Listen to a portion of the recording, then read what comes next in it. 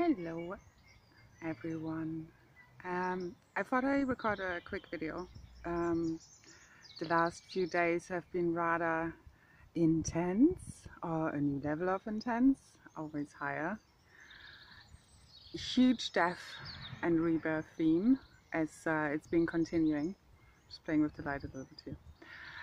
So whether you are feeling you are dying or have rebirthed and feel a little bit like a little baby that still needs a lot of rest and sleep to integrate all of that we have just received over the last two weeks and have worked through.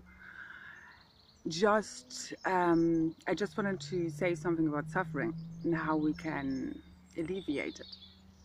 So if we understand that we are turning from carbon to crystalline, crystalline plasma liquid light, then we can see diamonds are made under pressure, as we all know the analogy, and a butterfly turning into mush while it's in a cocoon.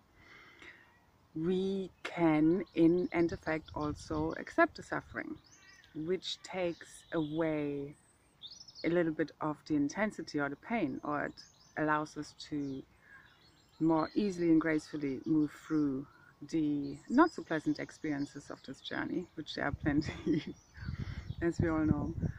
So if we understand that in order to reach a higher frequency, we really have to let go and make space um, with all that which is of lower frequency. So all the distortions, all the reversals, the mutations in our DNA and so forth. Then what we can do is when we don't feel good and we feel like we're dying, instead of resisting it, which is just amplifying the pain, and which is an end effect suffering, it's the resistance which causes the suffering, then we can just ease into it a little bit more. Because whenever we resist something, it just makes it last longer.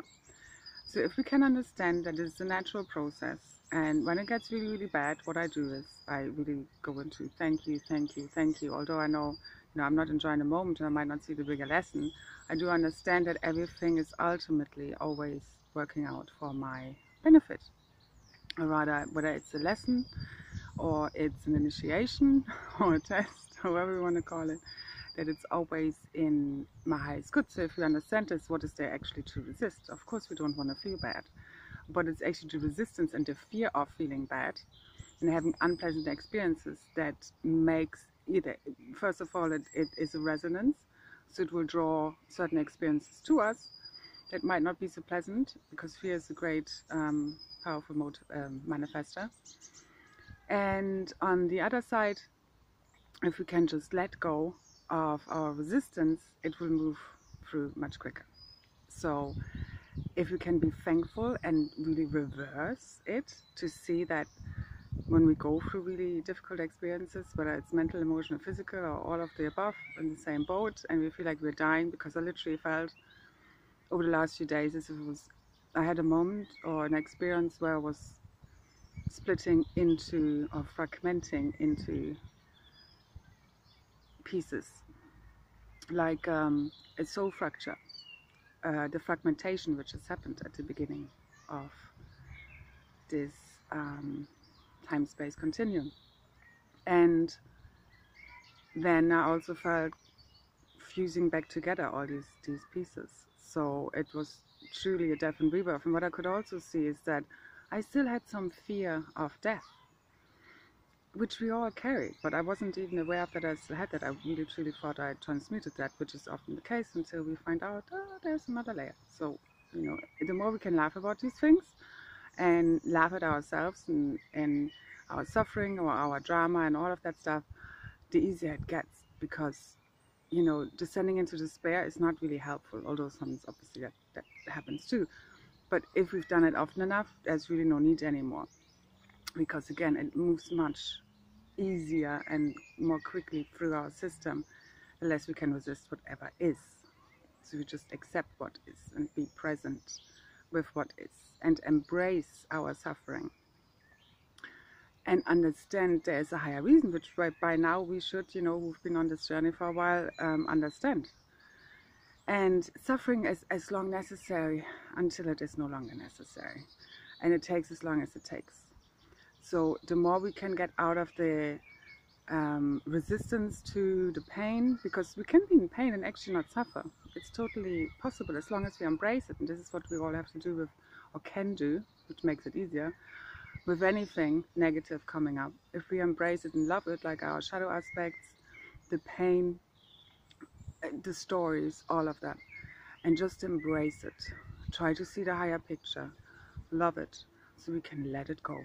Because if we wrangle with it, we resist it, we, we judge it, and we think there's something wrong with it, with us, then it will keep coming around until we've learned a lesson and, and find a higher purpose and lesson of it. So I probably wanted to do uh, say much else, but obviously I forgot because focusing is very difficult. Hence I made a video instead of writing. I've, I've started several posts, but um, my guidance has been not to post them. Because first of all I can't focus properly and second of all it's really important if we just focus on ourselves, keep pulling everything within, not, no projecting, no turning our anger and frustration, whatever else, into other people, and just sit with it and keep transmuting, keep letting go, keep letting go of the old self because the new is here now and everything shifts from here on. So if you can feel it, if you can smell it, the shift in the consciousness and the awakening happening now, then deepen into that. And very um, powerful time for manifestation. So just take it easy, keep following your own intuition and guidance above all else. Uh, keep being sovereign, be yourself. There's only one for a reason. And that's really what shifts everything. And as we shift and change, everything changes and shifts in our reality because this is how this works and this is how we know everything is shifting now. So, um, powerful time. Enjoy, rise, have fun, follow your bliss, your guidance, even if you don't know what you're about to do. There was also a mission change just recently, it seems, again, over the last two weeks. Um, I will summarize what I have seen or experienced happening more as and when, uh, when I can. But yeah, huge shifts, just wow, beyond words. So um, expect the unexpected. Get ready for the roller coaster ride of your life. Let's make it good. Let's make it fun. Keep laughing at yourself. It's the best medicine. And um, yeah, just keep being you. Loads of love and blessings. Bye. A little sun. We love the sun, especially in Ireland.